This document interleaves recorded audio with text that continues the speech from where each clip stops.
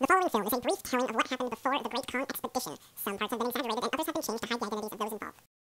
Viewer discretion is advised.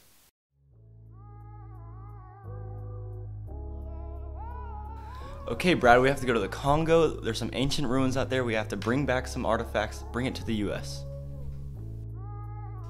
Well, that's pretty sweet, I guess. How do we get to the interview? I don't know. Let's ask the lady in the front office.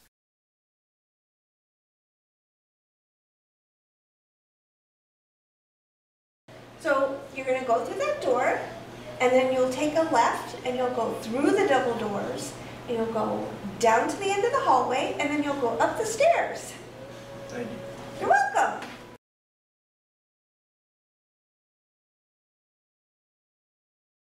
What made you want to join this expedition? Sounded interesting. I like excitement.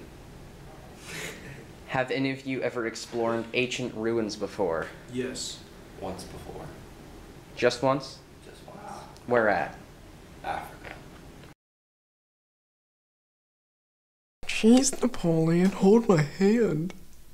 Don't be gay. You're just mad that I'm dating your mom. Jeez. Don't be a liar. You're a liar. No, you're a liar.